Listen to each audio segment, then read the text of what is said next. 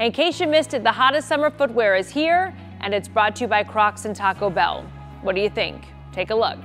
Uh, the two brands have joined forces to create black and purple slides with the Taco Bell logo. The new kicks are going to go on sale June 28th on the Crocs website for 60 bucks.